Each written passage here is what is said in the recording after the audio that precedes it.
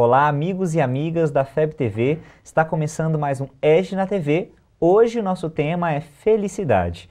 Para falar sobre esse tema, nosso amigo Antônio Júnior, seja muito bem-vindo. É repórter também, né? Está aqui com a gente hoje para falar sobre felicidade. Muito obrigado. Espero que eu dê conta do recado e possa colaborar com o estudo. Tenho certeza. E Sheila Costa?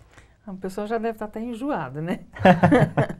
Não, tá todo mundo feliz de te ver hoje. Ah, então tá bom. Comecemos por aí, né? né? E já que a gente está falando de felicidade, bacana a gente conceituar o que, que é a felicidade, né? O que, que seria a felicidade, assim, para a gente entender um é, pouquinho? É, eu acho que essa pergunta é quase tão difícil quanto aquela que Pilatos fez para Jesus perguntando o que era verdade, né? E aí Jesus ficou em silêncio que eu acho que a gente não entende bem o que é nem verdade e nem felicidade. São dois conceitos muito abstratos para a gente, né?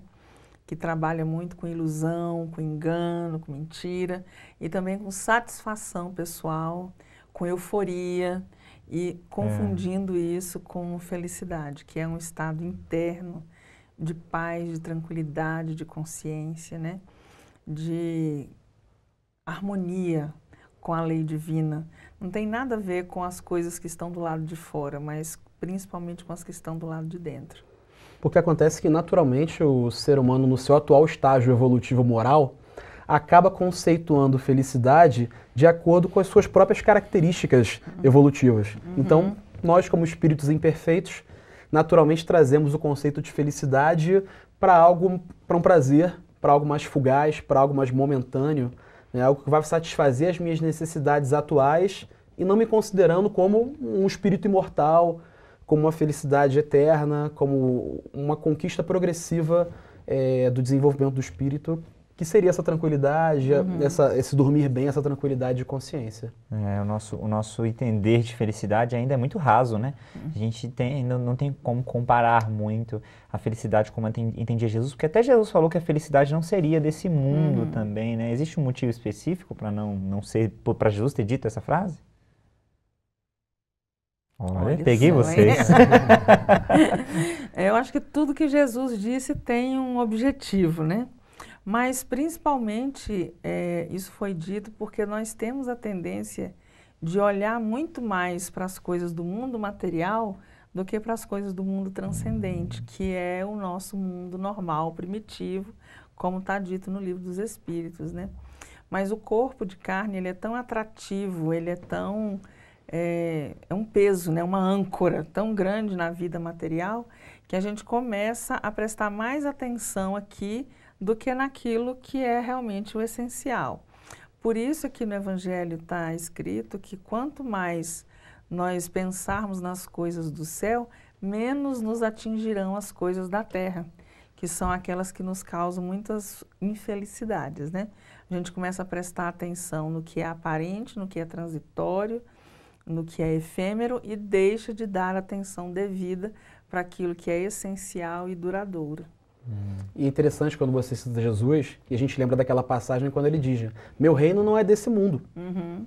Então, naturalmente, se o meu reino não é desse mundo, significam que as coisas da terra não vão saciar ao ser humano. Uhum. Então, a gente fica numa busca constante de, de, de felicidade e, e procura felicidade nas coisas erradas, não naquilo que realmente vai nos completar.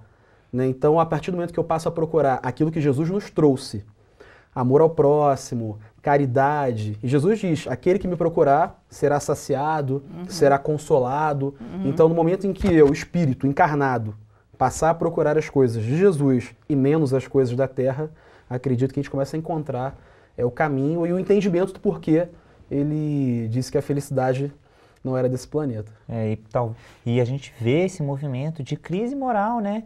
É, a gente vai alcançando o que os espíritos trazem, né? Quando a gente alcança aquele momento que a gente supre as nossas necessidades físicas, a gente parte para um processo de encontrar, ter mais conforto para encontrar aquilo que realmente é importante para o nosso coração. Né?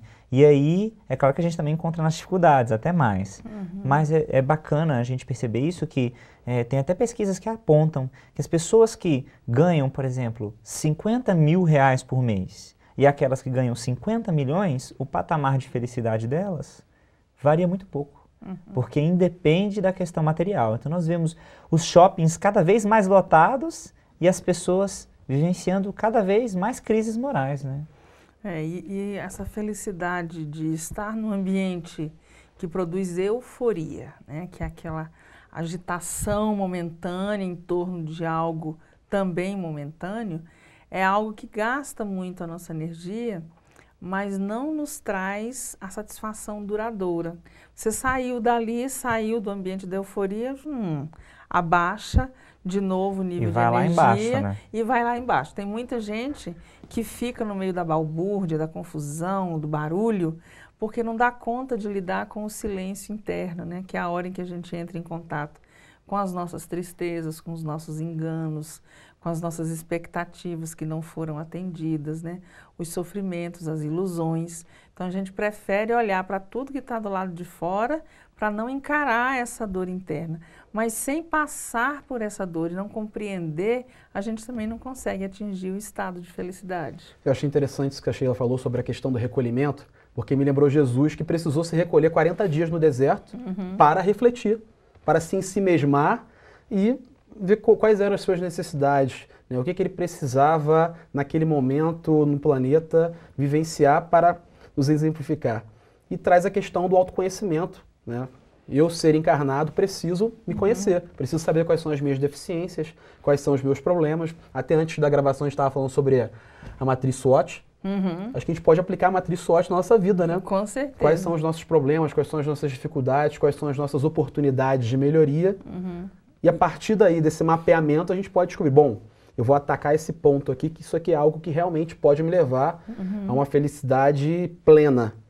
Uhum. E não simplesmente a, a sensações, a prazeres que de repente vão me saciar em determinado momento, mas depois vão me trazer uma sensação uhum. de vazio. É, isso é muito bacana, que você falou do autoconhecimento, tem o autoconhecimento e o conhecimento das leis universais, Exatamente. né? Que são coisas que se somam e que fazem que mesmo diante das dificuldades, a felicidade, a harmonia siga uhum. dentro do nosso coração, né? É, nós temos no Livro dos Espíritos, na parte 3, as leis morais, né?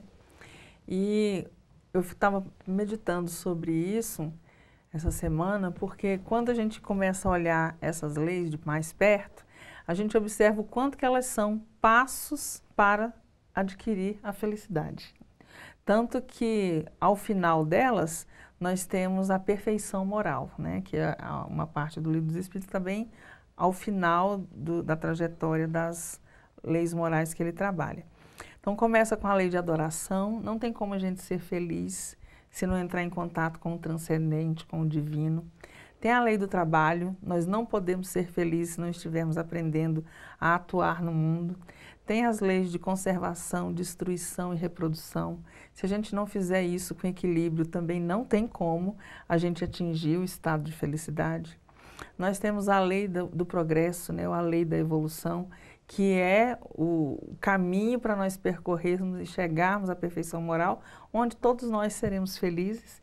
E a lei de justiça, amor e caridade, que sem ela você não consegue trazer nem a felicidade para si mesmo, nem para os outros, nem para o meio social. Então, esse caminho que a gente observa nessa parte do Livro dos Espíritos, para mim é uma trilha a ser seguida, né? E cada é, pedacinho dela percorrido vai nos levar à perfeição moral, que é o estado pleno de felicidade absoluta.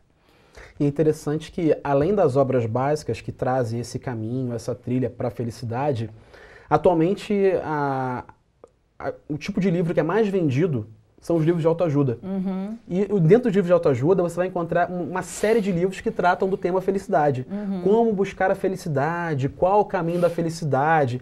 Que não são livros que são necessariamente religiosos. São livros que têm um viés filosófico, um, um viés de autoajuda, mas isso demonstra que a sociedade, que o ser humano está preocupado uhum. com essa busca da felicidade. Não necessariamente por intermédio da religião, mas também por intermédio da filosofia, que o Espiritismo também nos traz. Uhum. Então a gente tem uma série de obras aí, o, o Monge Executivo e outras aí de autoajuda que trazem essa, bom, casos reais de pessoas que estavam buscando a felicidade e, de certa uhum. forma, se retiraram da sociedade para se conhecer e se melhorar. Enfim, então acho que, acho que isso é um pouco consolador saber que o ser humano hoje já está procurando isso, imaginando dentro de um contexto de mundo de regeneração. Uhum. Então estamos saindo desse contexto de mundo de provas e expiações para o mundo de regeneração e a gente percebe que os espíritos estão mais preocupados em se melhorar. Né? Naturalmente, é, ainda buscamos a felicidade em muitas coisas que não nos, uhum. nos saciam mas já existe esse movimento. E eu acho que isso é importante no desenvolvimento do espírito, que é progressivo. Você falou em filosofia, eu acho interessante retomar uma questão que me veio como exemplo. A felicidade é um conceito abstrato, correto? Então, não tem como eu preencher um espaço abstrato com coisas concretas. O abstrato só pode ser alimentado pelo abstrato, pelo imponderável. Assim como o concreto só pode ser é, preenchido por outra coisa concreta. Né? Então, a gente fica tentando, por exemplo, ser feliz esperando o aplauso dos outros. Olha que coisa de sofrimento horrível a gente está criando, porque nós podemos ser aplaudidos e também podemos ser vaiados, achincalhados, criticados, e a gente vai fazer da opinião dos outros nosso caminho de felicidade, estamos perdidos, né? com certeza. Mas me chamou muita atenção a gente conversando uma vez numa espécie de café filosófico, né? essa metáfora de que a felicidade é algo abstrato, imaterial, imponderável para os parâmetros da Terra. E a gente não tem como fazer isso ser preenchido pelas coisas do mundo que são de outro patamar vibratório, né? Precisa ser preenchido por algo muito mais sublime, né? Exatamente. Nós vamos agora para um breve intervalo. Daqui a pouco a gente volta para o segundo bloco para conversar um pouquinho mais sobre felicidade aqui no EG na TV.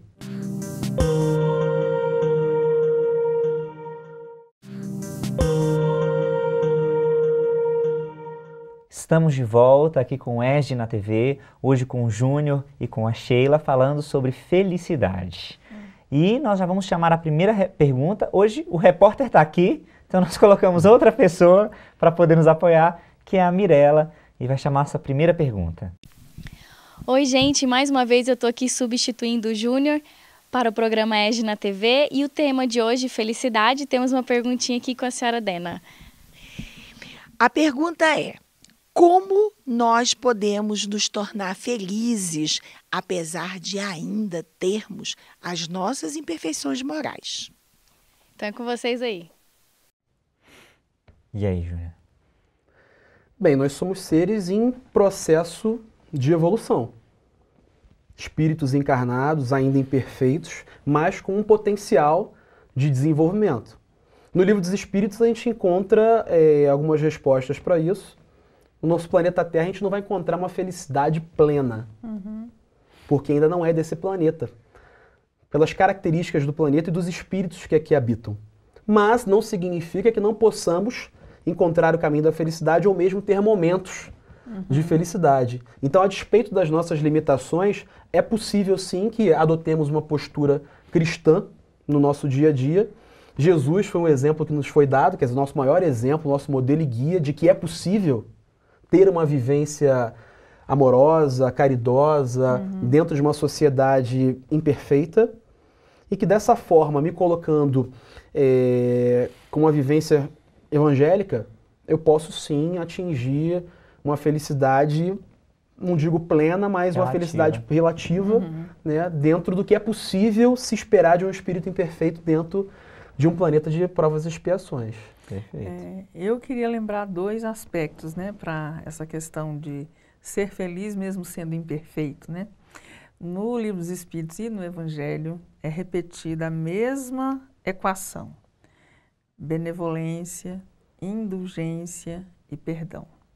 Então, querer o bem dos outros, não levar tão a sério o mal que os outros fazem e perdoar aquilo que é feito e que nos provoca prejuízo.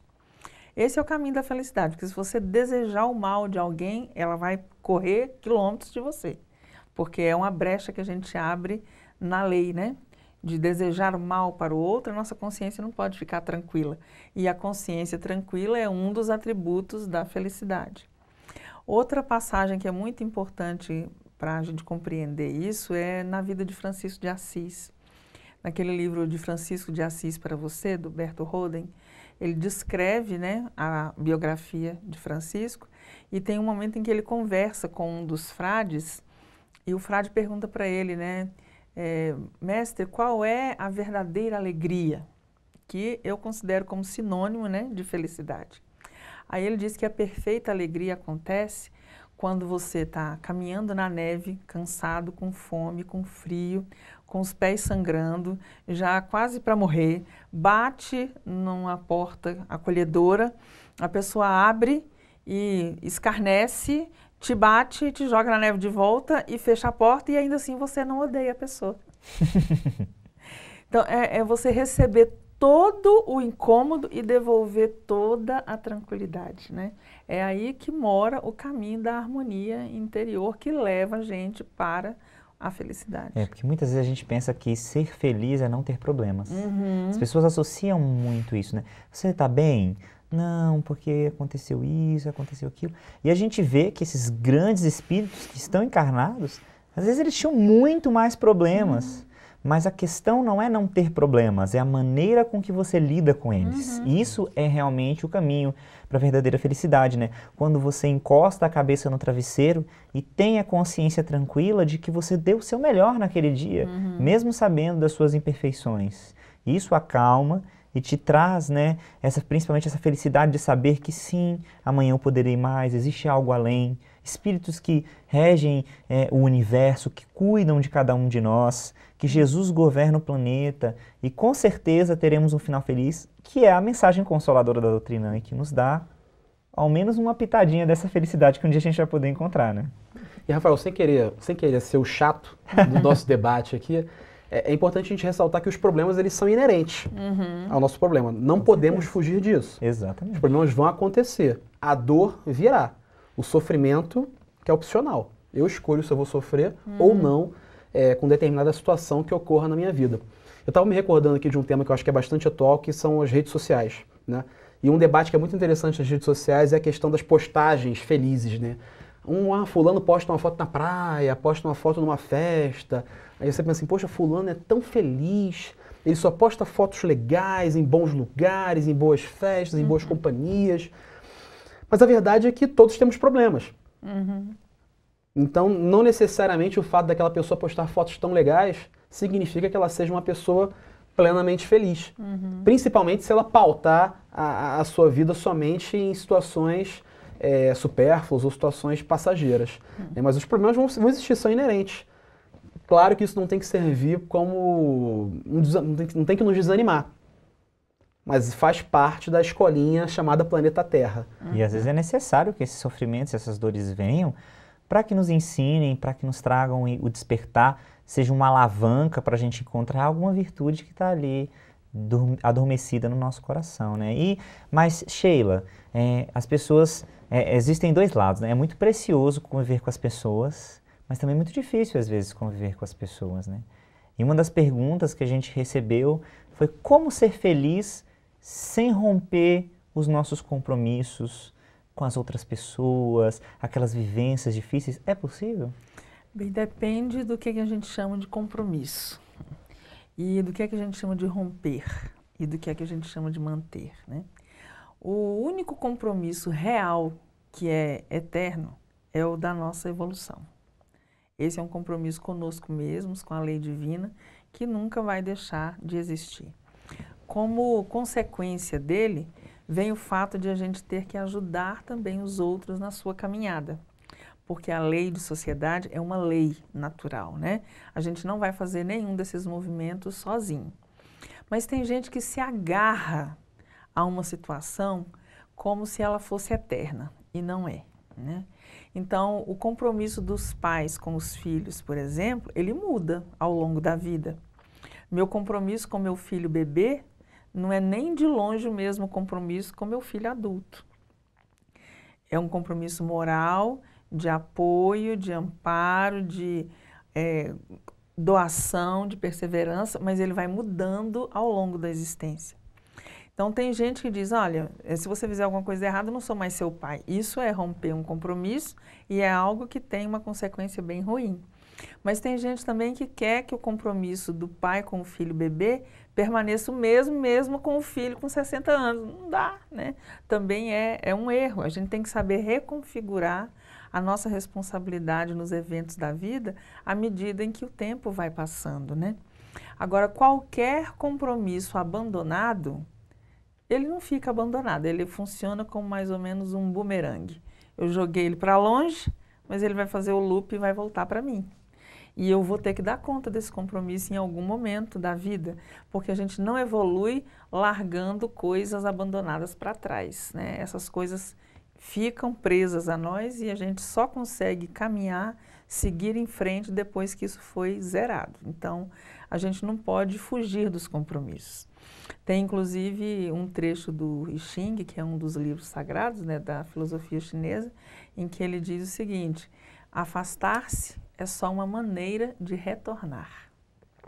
Então, eu fugir daquela coisa, não adianta, eu vou girar, girar, girar, se eu vou encontrar com ela de novo, que se foi uma lição que eu ainda não aprendi, eu vou ter que retomar até que esse aprendizado aconteça. É a parábola dos talentos, né? É. Importante valorizar todos os compromissos. E às vezes a gente pensa assim, né? Seria tão mais fácil se aquele irmãozinho fosse mais legal, se a minha mãe fosse mais compreensiva, uhum. se o meu pai fosse mais mão aberta, se aquele colega de trabalho fosse menos chato. Então a gente gosta muito de colocar rótulos nos outros e acaba não olhando para si mesmo. Uhum.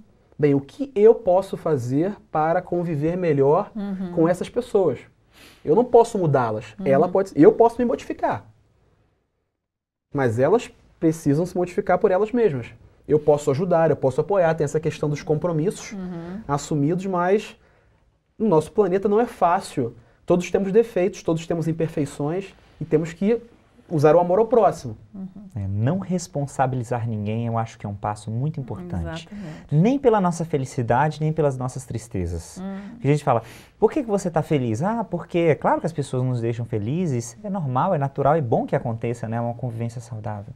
Mas às vezes, por que, que você está triste? Porque fulano fez isso, isso e isso comigo.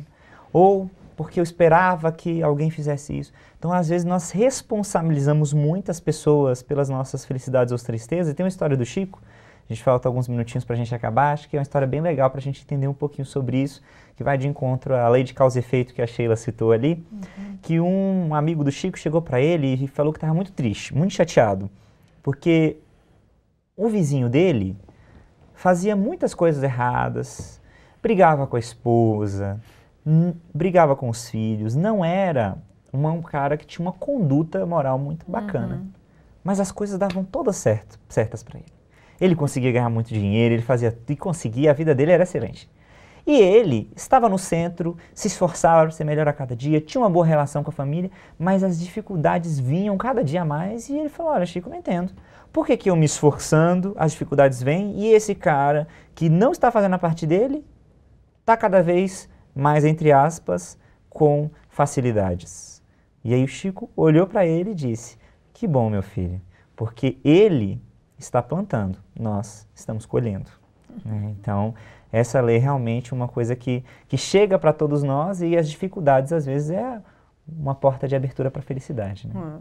Uma vez eu estava conversando sobre dificuldade, lei de causa e efeito, com um grupo de crianças, né, de 11, 12 anos, e um deles falou assim: Eu acho que esse negócio de dificuldade é igual passar de fase no jogo. Quando a gente vai ficando bom no jogo, o jogo não fica mais fácil, ele fica mais difícil. que interessante. Então, eu achei uma metáfora muito bacana, né? E a gente fica mais feliz quando consegue passar pela fase mais difícil. Então, ele associou a noção de felicidade, de tranquilidade, né, de satisfação, com o vencimento da dificuldade, não com a ausência dela. Acho que é muito importante também a gente pegar esse exemplo dado por uma criança, né, para fazer a gente mudar um pouco o conceito. Bacana. Nós vamos para um breve intervalo e já já voltamos para falar um pouquinho mais sobre felicidade.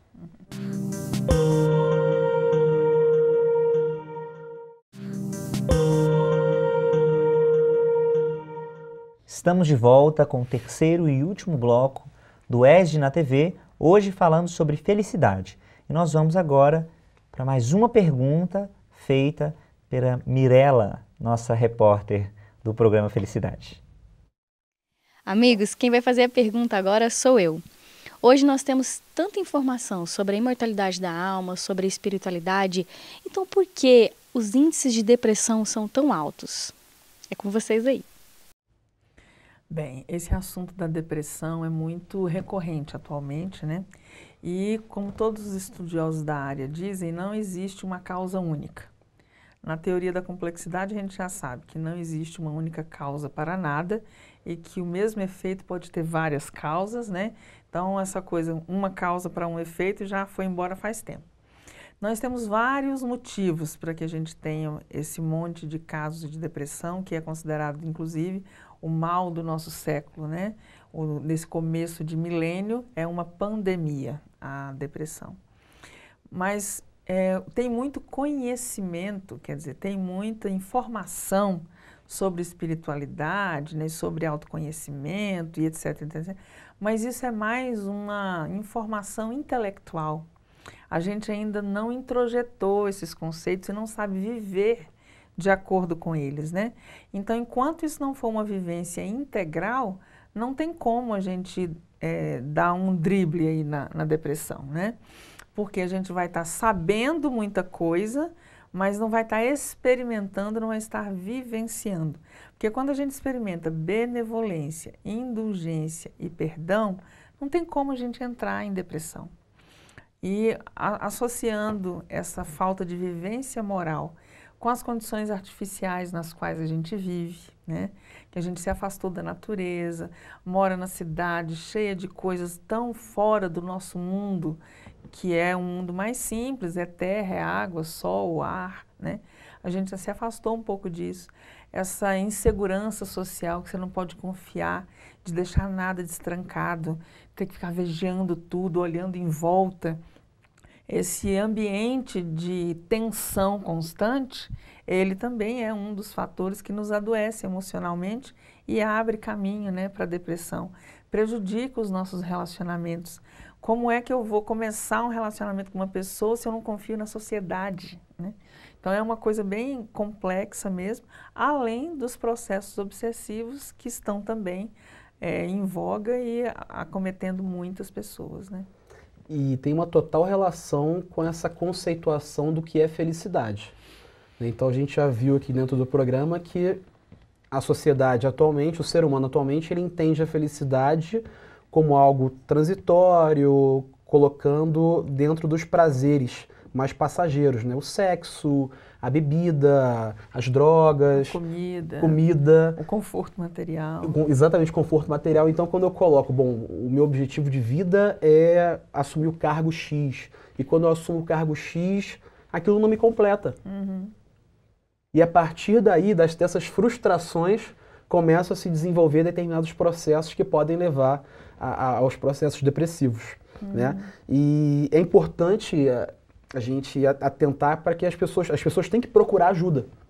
Não só ajuda espiritual, como ajuda médica, médica ajuda de um psicólogo ou de um psiquiatra. Né? Uhum. Né? Então, por mais, ah, eu sou espírita, eu frequento o espírita, legal, muito bom. Mas não podemos abrir mão também da, da ajuda médica. É, a gente tem que levar bem a sério essa questão. Tem muitas pessoas que comparam depressão com preguiça, e não é. Uhum. Né? Depressão é uma doença que merece ser tratada com seriedade. A gente sabe que nós somos espíritos imortais, temos conflitos antiguíssimos dentro do nosso ser, que é necessário sim uma atenção especial, né? E até um, um amigo disse que um dos pontos para a infelicidade é se comparar com o outro constantemente. Uhum. Então a gente fica sempre comparando a nossa vida com o outro, porque o outro tem isso, eu não tenho aquilo. Então nossa vida vai ser sempre muito triste, muito infeliz, uhum. porque cada vida é muito individualizada. Né? Nós vamos agora para mais uma pergunta nesse último bloco. Não, não é a última ainda, mas temos mais uma pergunta. Mais uma pergunta para o tema felicidade. Doutora Luci. A felicidade tem alguma relação com a consciência? Com vocês aí. Nós até já falamos disso, né, no uhum. início dizendo que na doutrina espírita são colocados dois requisitos para a felicidade: a consciência tranquila e a fé no futuro. Então, se a gente não tem a consciência tranquila, que, que nós estamos nos alinhando com as leis morais na medida do possível, num esforço contínuo, cotidiano, né, de se harmonizar com isso, e se a gente não acredita que no nosso futuro nós seremos melhores do que somos hoje, não há como existir felicidade. E as pessoas que fazem de conta que não têm consciência, elas estão, no mínimo, entorpecidas, né? mas não felizes. Porque para ser feliz você tem que ser consciente. Faz parte do processo tornar-se consciente, atuar conscientemente para produzir um determinado efeito que na inconsciência, na indiferença, no embotamento a gente não produz. E interessante, me lembrou aqui do livro O Ser Consciente, uhum. Joana de Ângeles, por intermédio de Edvaldo Pereira Franco. Joana de Ângeles, durante toda a sua série psicológica, ela trata dos conceitos de self né, e de ego. Uhum. E seria uma, uma, grande disputa entre o nosso self e o nosso ego. Na verdade, o self seria aquela idealização do ser e o ego seria um, é, o, como eu, espírito, me vejo. Então, ah, e eu o self seria tipo meu eu interior. O meu eu interior. Uhum. Na verdade, o ego estaria contido dentro do self, uhum. né? E essa disputa entre o self e o ego, o ego baseado no egoísmo, na vaidade, é, no narcisismo. Então, a partir do momento que eu me conscientizo, eu passo por um processo de autoconhecimento. O que, que o meu ego me traz? Quais são as minhas deficiências? Quais são as minhas, as minhas debilidades? E a partir daí eu possa me aperfeiçoar. Nós vamos agora para mais uma pergunta, a nossa última pergunta do nosso Edge na TV sobre felicidade. Vocês vão acompanhar agora. Mais uma pergunta sobre felicidade. E aí, Lid? Qual a mensagem de Jesus sobre a felicidade? É com vocês aí. A gente falou um pouquinho, né, da mensagem de Jesus, mas acho que é legal para fechar, né? uhum. né? Nada melhor do que fechar com a mensagem de Jesus que é tão sublime, né? É, a gente falou aqui inicialmente sobre a questão que a felicidade não é deste mundo. Uhum. Jesus traz a questão de meu reino não é desse mundo, a felicidade não é desse mundo, mas somos espíritos com potencial evolutivo, temos momentos de felicidade aqui no planeta Terra. Uhum. E a mensagem que Jesus nos traz é que, sim, é possível a partir de agora construir uma felicidade eterna. Uhum. A construção dessa felicidade ela é progressiva. Então, dia a dia, vida familiar, trabalho, durante todo o meu processo de encarnação, eu vou construindo essa felicidade. É difícil, é difícil, não é fácil. Mas é preciso benevolência, é preciso esforço, indulgência no nosso dia a dia.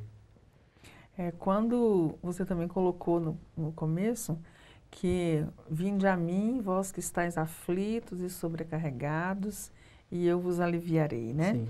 Então, Jesus já disse qual é a saída porque todo mundo fica aflito de alguma forma, algum momento da vida. Não conheço ninguém que não tenha passado por isso, né? E sobrecarregado ainda também, porque às vezes os problemas vêm todos numa hora só e a gente acredita que às vezes nem vai conseguir.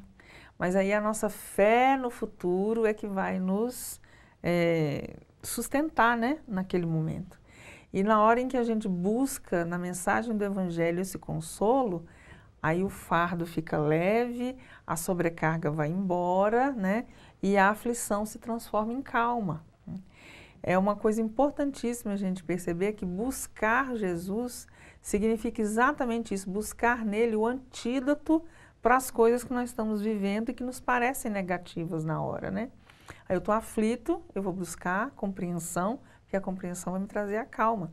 Aí eu estou sobrecarregado, eu vou procurar compreensão, que a compreensão vai me fazer ver o que é que eu realmente preciso carregar, o que é que não, e aí ficar com a carga mais leve, né, para a gente prosseguir com mais tranquilidade. É, Kardec até coloca no Evangelho que ah, bem-aventurados aflitos, né, e seria Jesus aliviaria porque isso nos coloca a importância da lei de amor, de caridade, que seria a aplicação dessa lei uhum. que nos uhum. aliviaria, né? E quando Jesus tem até um estudioso amigo nosso chama Ismael Maia, ele nos, nos contou que bem-aventurado quer dizer lá do hebraico em marcha também, o pé em marcha. Então, bem-aventurado seria que está caminhando uhum. para seguir. Então, não seria uma posição de esperar o alívio uhum. parado, mas de saber que ele vai chegar a partir da aplicação dessas leis. Gente, uhum. gostaria muito de agradecer você, Júnior. Foi muito bacana você aqui hoje, viu? Muito legal, gratidão. E Sheila, mais uma vez, sempre uma felicidade estar aqui com você. Eu também fico muito feliz. Espero que o restante também. Maravilha. Se você quiser rever esse programa, você pode assinar o nosso canal no YouTube Gotas de Luz. Pode seguir também nas redes sociais, Facebook, Instagram ou mandar perguntas para febtv@febtv.com.br que nós vamos analisar se podemos responder aqui. Mais uma vez nós agradecemos, foi uma felicidade estar aqui neste programa e encerramos agora mais um EGE na TV.